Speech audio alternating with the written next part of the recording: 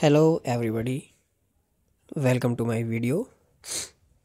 Today i am going to show you how to get silent mode vibrate mode and ringtone mode in android lollipop version. For this you have to first lock your screen. And there you will see a notification window below.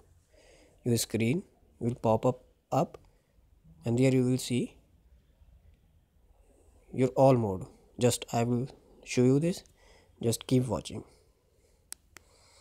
Just I have locked my phone. Now this. See below is this the arrow button.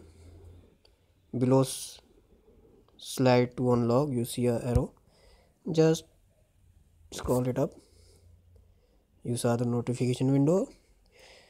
And just below the wallpaper you see an icon this like this. This is on ringtone mode. Now it's got on silent mode. Then press again. You will get vibration mode. And again ringtone. So i kept my phone at silent mode. This silent mode is out. Just you will get your all mode in lollipop version here only. Thank you for watching my video. If you like please subscribe and comment on below. Thank you.